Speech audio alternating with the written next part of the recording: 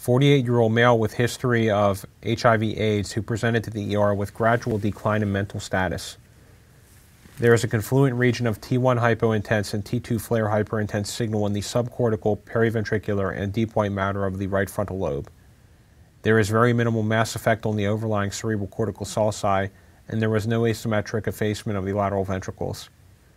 The signal abnormality extends via the genu and anterior body of the corpus callosum to involve the white matter of the left frontal region.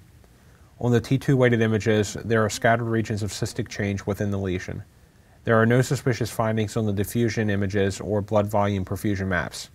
There is no suspicious post contrast enhancement. The imaging findings are most consistent with the diagnosis of progressive multifocal leukoencephalopathy, or PML for short. PML is a demyelinating disease resulting from oligodendrocyte infection with the JC virus. PML is usually associated with an immunocompromised status, such as in HIV AIDS. Transplant patients and those with leukemia may also be affected. In AIDS, PML typically develops with CD4 counts below 50 to 100 cells per microliter.